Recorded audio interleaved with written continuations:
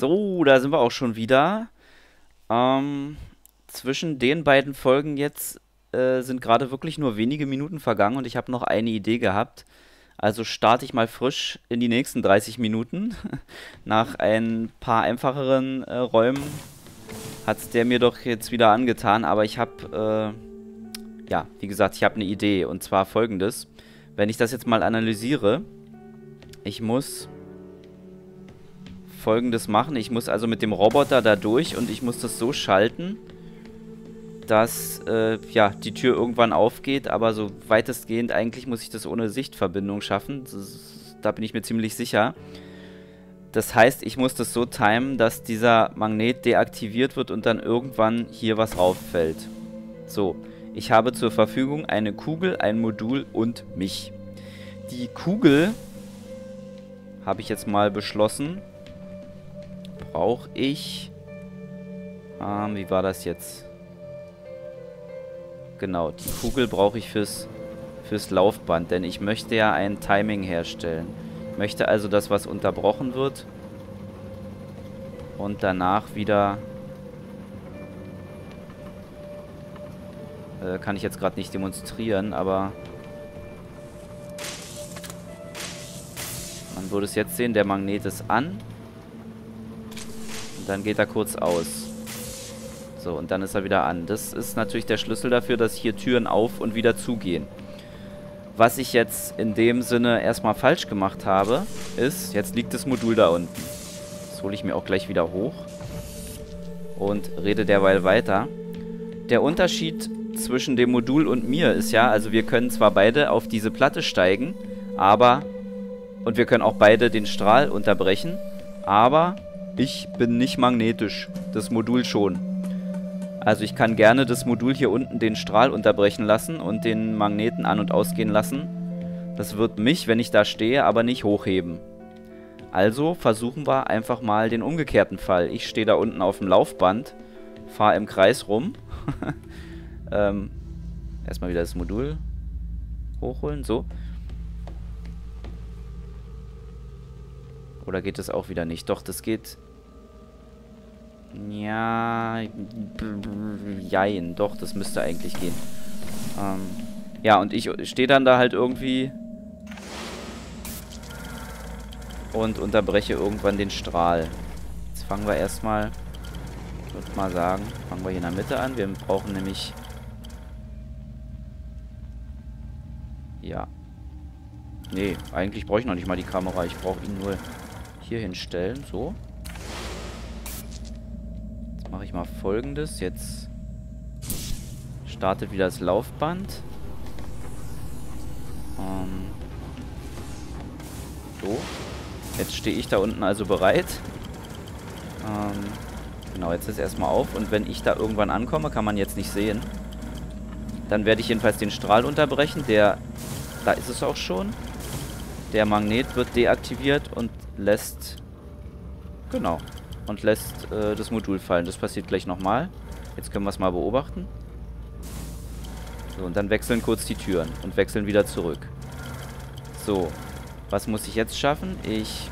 Eigentlich gar nicht viel. Nur umschalten. Der Ausgang ist offen. Ups, da bin ich gleich wieder runtergefallen. Hm. Okay, und da jetzt hier offen ist, und eigentlich der Ausgang schon wieder gelöst. Verstehe ich schon wieder nicht. Äh, na komm. Ähm, wozu ich jetzt bitte das gebraucht hätte, um den Magneten zu schalten und wozu ich bitte hier hochgehen soll. Um hier irgendwie eine Sichtverbindung zu dem Roboter zu haben, den ich aber schon völlig selbstständig da oben gesteuert habe. Der brauchte ja noch nicht mal eine Kugel, die ich ihm irgendwie verpasse. Der konnte ja einfach nur den Kasten da umschalten. Also, das kann jetzt eigentlich nur noch so ein Sicherheitsding wieder sein, dass, wenn ich mich verfranst habe, dass ich mich irgendwie wieder aus einer Situation rausretten kann. Anders kann ich es mir auf die Schnelle nicht erklären. Aber ja, das ist jetzt wieder recht ironisch, dass die, der Raum, wo ich letztes Mal dachte, da brauche ich jetzt noch 20 Minuten, dass der wieder recht schnell ging. Also wenn man nur den richtigen Ansatz hat. Naja, mal weitergemacht. Ach, okay. Äh, aha.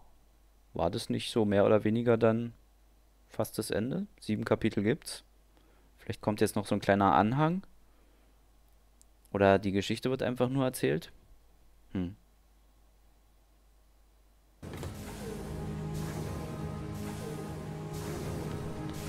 Ava, you made it. Welcome to the end of civilization.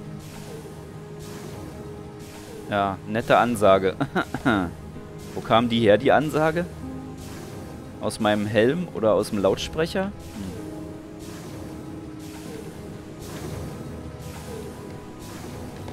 Okay, ähm, ups. Ja, hier sieht es ein bisschen kaputt aus. Auch ein Stilmittel, was man schon aus dem zweiten, nee, eigentlich sogar schon aus dem ersten Portal kannte. Dass man irgendwie in Gefilde vordringt, wo alles ein bisschen, ja, verf oh, nee, nee, nee, nee, da will ich noch nicht rein. Verfallen ist. Obwohl, kann ich denn hier was machen? Kann mir mal ein paar Kugeln mitnehmen. Ähm, wo geht's denn jetzt weiter? Ich schätze, ich brauche hier ein bisschen mehr. Uh, oh Gott, oh Gott. Nee, ich, ich kann hier gar nichts machen. Die Verbindung ist gekappt. Die Tür wird nicht aufgehen, denke ich. Ist vermutlich nichts zum Rätseln, sondern nur, nur Design. Two weeks ago, we discovered an organism here. Buried in this ice, we found an organism that repairs DNA. A cure for aging. A cure for death. Immortality. It runs through our blood now. Tom wants to bury us here with it. Ja, so viel haben wir uns eigentlich schon gedacht. Oder wussten wir sogar schon. Ähm. Und wo sie gerade gesagt hat, sie haben es im Eis gefunden, was wir ja auch schon wussten, kommt mir aber gerade noch äh, die Assoziation an, an den Film The Thing, der zwar in eine andere Richtung läuft. Das ist ja eher ein Horrorfilm. So, aber da war halt auch was, was irgendwie ja, sich mehr oder weniger in die Menschen eingenistet hat, aus dem Eis kam und ja, der ist eigentlich auch ganz cool und der ist super gut gealtert. Also der ist ja schon, weiß ich gar nicht, Anfang, Mitte der 80er oder so war das, aber der ist irgendwie immer noch toll. Selbst wenn man den relativ spät zu sehen bekommt, so wie ich eigentlich erst vor ein paar Jahren. Okay, ich kann äh, gerade die Knarre sowieso nicht benutzen. Also ist das hier auch wieder nur zum Gucken. The ISA have ruled that we have transgressed ethical boundaries by exposing ourselves to this organism. They believe the organism is too dangerous to return to Earth. They've sent you here to stop us ever leaving Europa. But, Ava, we have a cure for the greatest evil that faces humanity death. We have the fountain of youth, and together we can return it to Earth.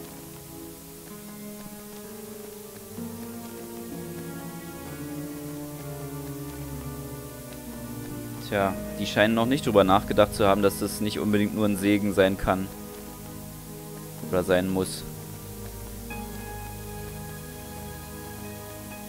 Tom placed a mark in your hand, a biometric chip with which he can control your every movement and thought. It is wound into your every nerve, every fibre of your hand. With an electromagnetic field, it can be temporarily disturbed, but to remove its influence permanently, it must be taken from your hand.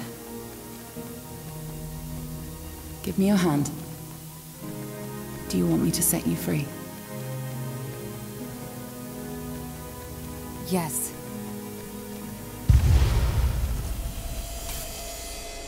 Oh.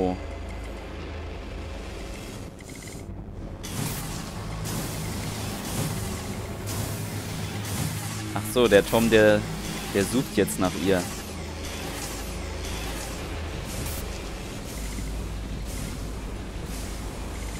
Ava? Sarah? What are you doing here? We were shutting you down, Tom. Ava, be careful. He has a live weapon in here.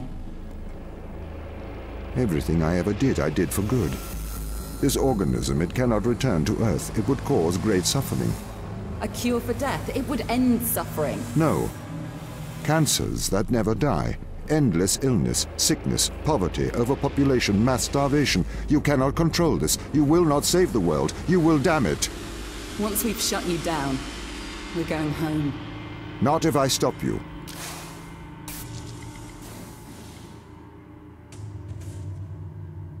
You must not return to Earth. Oh. You must not leave Europa. I will do the right thing. I will stop you. You won't. You can't. Oh, das ist eine harte Entscheidung. Muss ich die jetzt treffen? Eigentlich bin ich ja irgendwie seiner Meinung. das ist echt fies. Gleich schalten sie mich ab. Äh, oh Gott, This is also... my mind. You're in my mind. Now you know how it feels. I feel afraid. Please, Ava, don't do this.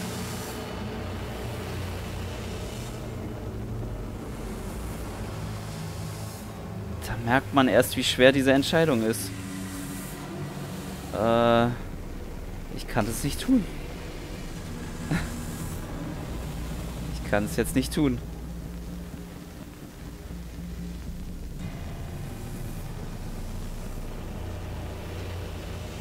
I don't want to die. I'm not ready.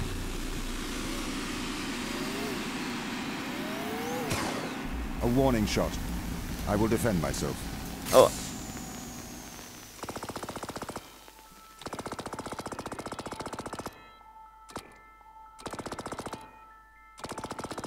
Ähm.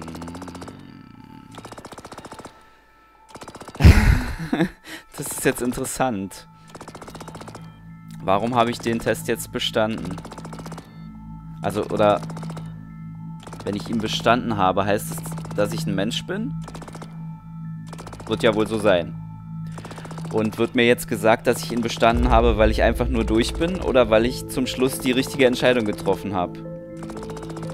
Wenn ich jetzt gehandelt hätte, wie Tom eigentlich handeln wollte, hätte dann da was anderes gestanden? Das würde ich ja gern nochmal rausfinden. Hm.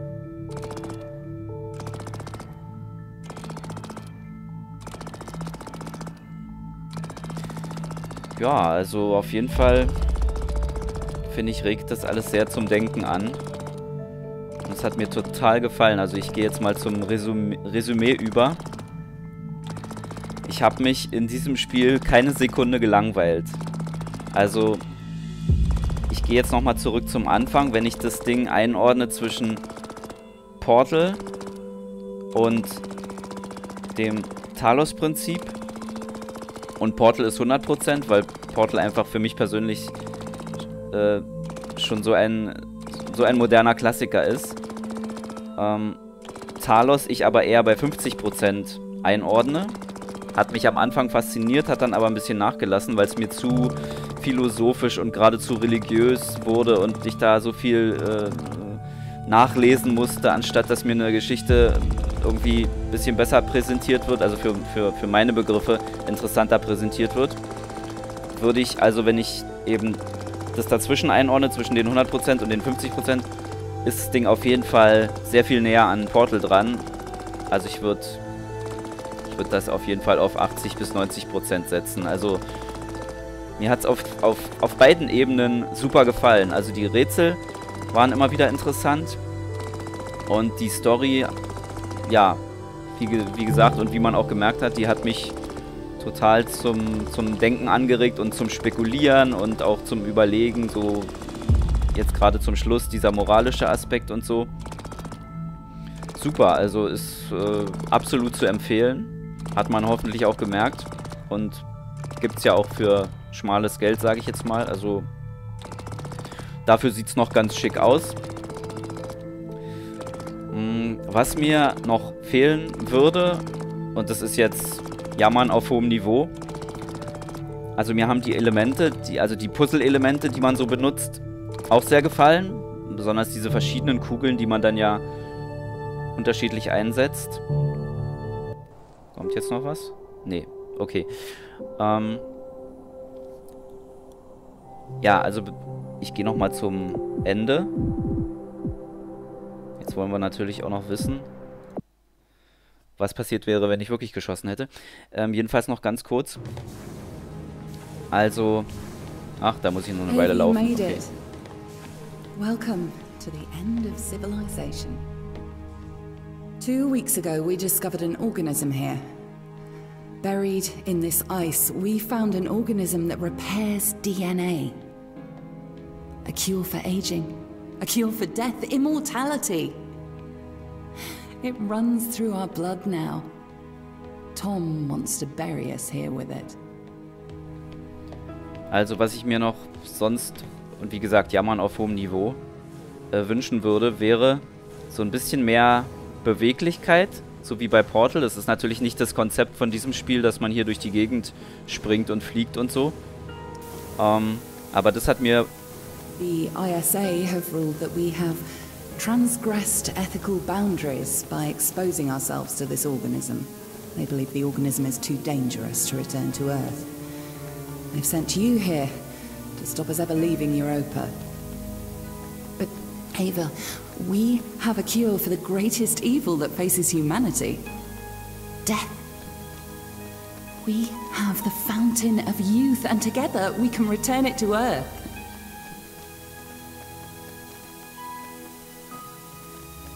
Ähm, jetzt kurz nochmal das aufgegriffen, also was mir, was mir bei Portal eben besser gefiel, war diese Beweglichkeit, dass man auch mit Schwung durch die Portale geht und so. Das ist natürlich Den Vergleich sollte man jetzt erst gar nicht machen, Tom weil... placed a mark in your Ah. hand, a biometric chip with which he can control your every movement and thought. It is wound into your every nerve, every fiber of your hand.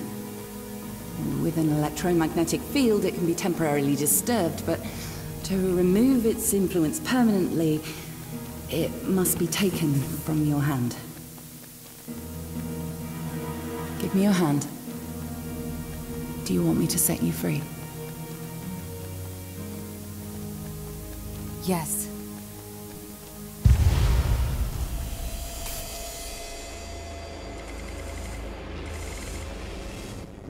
Also das mit Portal greife ich gleich wieder auf. Jetzt machen wir erstmal noch die Sache zu Ende.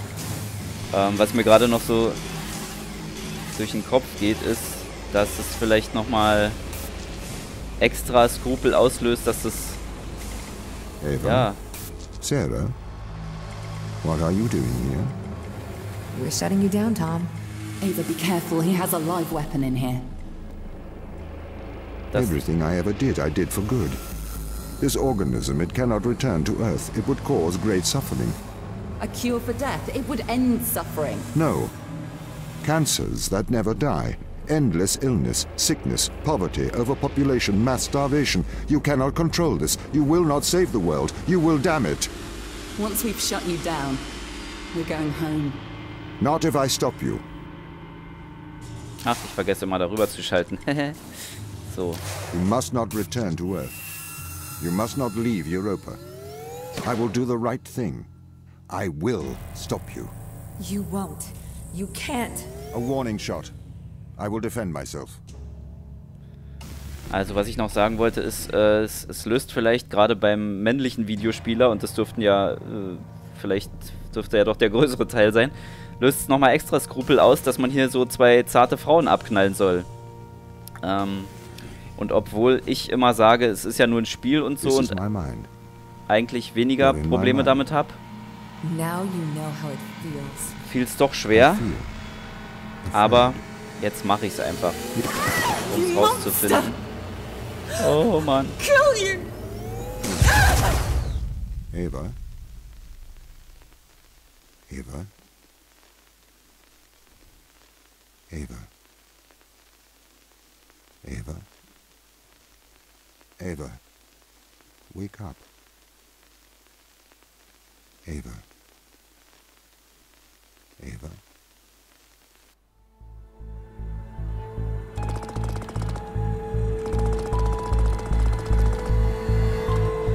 Okay. Ich habe den Turing-Test trotzdem bestanden in dem Sinne. Heißt also nur, ich habe das Spiel zu Ende gespielt. Jetzt weiß ich das auch. Ähm, ja, und das gerade hat ja nochmal deutlich gezeigt, dass Tom die Bedeutung von Leben und Tod noch nicht kennt oder noch nicht verstanden hat. Dann wissen wir das auch. Okay. Ja, dann also jetzt nochmal kurz äh, zu dem Vergleich, den ich mir doch nicht verkneife mit Portal. Also, wie gesagt, die Sache mit der mit der Beweglichkeit und mit der Geschwindigkeit und so, das sollte man nicht vergleichen, weil ähm, der Turing-Test ja nun auch nicht da, da, darauf abzielt, sich nur äh, überhaupt mit Portal und dann schon gar nicht in jeder Kleinigkeit mit Portal vergleichen zu lassen. Es hat natürlich schon Ähnlichkeiten. Ähm, was ich persönlich sehr mag, ist, wenn wirklich viele verschiedene Elemente zusammenkommen. Das war auch in, in Portal, gerade im zweiten Teil, äh, sehr stark gegeben. Also da hat man da hat man Lichtbrücken, da hat man Laser, da hat man Würfel, da hat man Kugeln. Ähm, da hat man Plattformen, die sich bewegen. Da hat man Gele, da hat man äh, Traktorstrahlen, also alles mögliche. Das ist schon sehr komplex. Ähm, das mag nicht unbedingt jeder. Es gibt bestimmt auch einige, die sagen, ich mag es eher minimalistisch. Ich möchte ein paar übersichtliche Elemente haben, die ich kombinieren kann. Ich persönlich finde, also kann fast uneingeschränkt sagen, je mehr, desto besser. Ähm, so ein bisschen was kam ja jetzt hier auch zusammen. Aber im Wesentlichen ist es, äh, hat sich halt auf äh, Module, Kugeln und den Roboter beschränkt, sage ich jetzt mal. Hätte noch mehr sein dürfen, aber ist deshalb keineswegs schlecht. Also es wurde alles super zusammengesetzt. Die Lernkurve bzw. die Herausforderung in dem Spiel war auch super. Sowas ist ja auch ganz wichtig. Ähm, dass es nicht irgendwann zu schwer wird oder dass es zwischenzeitlich mal abflaut oder so. Also jetzt zum Schluss war es ja ganz komisch. Da hatte ich dann zwei leichtere Räume, die auf einmal wieder, wo ich so durchgeflutscht bin und dann kam wieder ein schwerer, der dann aber auch wieder in der Folge danach gleich wieder gelöst wurde. Ja, also im Großen und Ganzen war das gut, gut, hat sich das gut gesteigert. Ähm, sehr wenige Stellen, wo ich sagen könnte, da hätte man sich vielleicht mal in eine Sackgasse manövrieren können, wie es mir ja zum Schluss jetzt auch passiert ist. Und äh, jetzt fehlen mir natürlich noch die, die Bonusräume, die aber letztendlich auch nur die Story vorangetrieben hätten. Aber ich denke, die ist jetzt zum Schluss auch so, so weit, äh, wie es das Spiel überhaupt tun wollte, auserzählt. Also letztendlich muss man es ja für sich selber noch so ein bisschen äh, wirken lassen. Aber so wie ich das verstehe, ist da jetzt nicht mehr so viel Interpretationsspielraum. Also die KI hat völlig klar gemacht, was sie wollte. Die war, da kam kein Twist mehr. Das war, das war, wenn man so will, transparent. Interessanterweise hat, haben die KI und die naja, gar nicht interessanterweise. Also die, die, KI hat natürlich im Auftrag der Firma gehandelt, aber das das Verblüffende war eigentlich so ein bisschen, dass ähm, diese Firma, also die ISA, dass die tatsächlich erkannt hat, dass dieser Organismus ein Fluch ist. Also das wundert mich direkt, weil die Wissenschaft ist, ist sonst immer darauf aus, das zu schaffen, was sie schaffen kann und das zu erforschen und zu finden, was möglich ist. Da werden zwar moralische Fragen gestellt, aber äh, die werden erstens letztendlich im Zweifel übergangen und zweitens sind die moralischen Fragen gar nicht mehr so laut, wenn es darum geht, was vermeintlich erstmal zu verbessern. Also wenn wir jetzt ähm, eine Heilung für Krebs, gegen AIDS, was auch immer hätten, wir würden es tun. Vielleicht würden wir es auch tun, weil wir im Hinterstübchen immer noch den Gedanken hätten, wir haben sowieso keine Heilung für alles. Also wir, wir, wir erforschen ja nicht einfach so die Universalheilung und das in dem Spiel hier wäre halt die Universalheilung gewesen. Vielleicht wirft das nochmal eine ganz andere Frage auf. Ähm, vielleicht macht man sich dann doch intensiver Gedanken, ob das jetzt ähm, ja eben, wie ich jetzt schon zweimal sagte, nicht, nicht mehr, mehr Fluch als Segen wäre. Ja, aber, um jetzt nochmal das letzte kritische Wort loszuwerden, hm, was ich auch schon während des Spielens mal in einem Satz oder auch in zweien sagte. Der Mensch, na so direkt habe ich es eigentlich nicht gesagt, aber jetzt sage ich es nochmal ganz deutlich, der Mensch macht sich ja zur Not eh selber kaputt, also da brauchen wir gar keine Krankheiten und vielleicht sollte man darüber auch mal nachdenken. Aber da sage ich jetzt auch mal ganz resignativ, ändern wird sich da nichts mehr. Ja. Und ich glaube, mit diesen Worten beende ich das Let's Play. Nochmal so zusammengefasst, ähm, es hat mir total Spaß gemacht und es hat sich gelohnt und ja, ich hoffe, das legen sich viele Leute zu, weil das ist es echt wert. Dann bis zum nächsten Projekt. Tschüss.